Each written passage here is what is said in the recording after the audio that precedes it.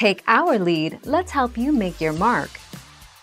Our goal is your satisfaction. Let us show you the way.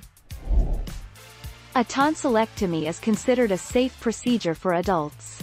However, all surgery comes with risks. A 2014 report found that 1 in 5 adults who had their tonsils taken out had some kind of problem afterward.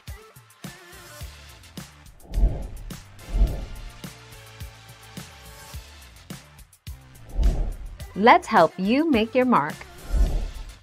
Having tonsils doesn't mean you'll get strep throat, just as not having tonsils doesn't make you immune to this infection. In both cases, exposure to the strep bacteria puts you at risk. People who have their tonsils are at an increased risk for more frequent cases of strep throat.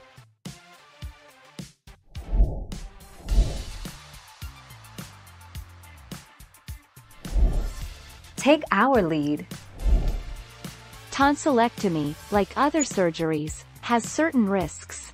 Reactions to anesthetics. Medication to make you sleep during surgery often causes minor, short-term problems, such as headache, nausea, vomiting or muscle soreness. Swelling. Bleeding during surgery. Bleeding during healing. Infection.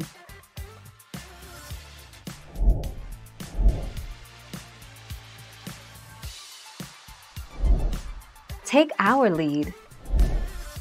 For children 3 and older, the surgeon usually removes both tonsils and adenoids. On occasion we will address tonsils in children younger than 2, and we will do what is called an intracapsular tonsillectomy, which is partial removal of the tonsil tissues, she says.